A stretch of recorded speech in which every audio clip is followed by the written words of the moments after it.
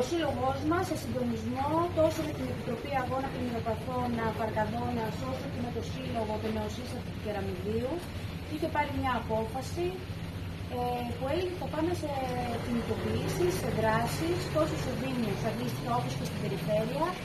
ώστε να δούμε τα πλέγοντα ζητήματα που έχουν να κάνουν με τα χωριά μας, πρόκειψαν την ελληνική στοράξη, διαγράμματα τα οποία όχι απλά δεν είναι σαφή, δεν υπάρχει καν ε, χρονοδιάγραμμα.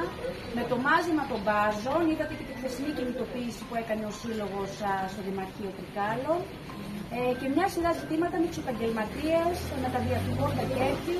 και τέλος πάντων ζητήματα που έχουν να κάνουν συνολικά με την αποκατάσταση των χωριών μας. Κάθε επαφή με τους αρμόδιους, γιατί είναι αρμόδιοι, τόσο ο Δήμο όσο και η Περιφέρεια, είναι ή υπεκφυγέ ή υπάρχει το ποτήριο τούτο το δύσκολο από πάνω μου. Δηλαδή δεν είμαστε εμείς οι αρμόδιοι. Ε, αυτό εμάς δεν πρόκειται να μας σταματήσει αν θεωρούν ότι θα μας πτωίσει ή θα κλειστούμε στα κοντέινέρ μας ή το οτιδήποτε άλλο και δεν θα συνεχίσουμε και ακόμη πιο μαζικά τις κινητοποιήσεις μας είναι γελασμένοι. Τόσο η κυβέρνηση όσο ο Δήμος και η Περιφέρεια σε αυτή τη φάση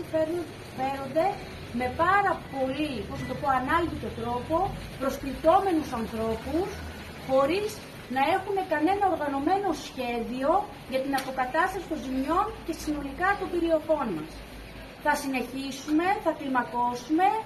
έτσι κι αλλιώς θα είμαστε μπροστά σε πιο μεγάλες κινητοποιήσεις. Εδώ περιμένουμε το ραντεβού με την κυρία Τιτή και με τον κύριο Κουρέτα, τον κύριο Περιφερειάρχη δηλαδή, να μας πούνε ακριβώς πώς θα πάει η δουλειά.